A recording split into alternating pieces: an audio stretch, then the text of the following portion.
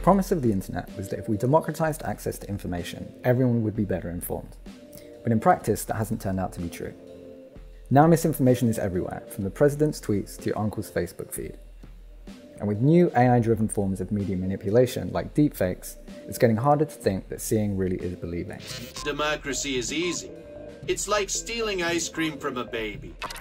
In a new three-part series, I'll be talking about some of the technology behind deepfakes and how social media platforms and tech companies are trying to guard against them with content authenticity tech. We'll talk about how the burden of proving something is or isn't true could impact human rights defenders, and who might be left out of this new technology altogether. To learn more, follow Witness on Twitter, Instagram, and Facebook, and look out for Tracing Trust Week coming soon. See you there.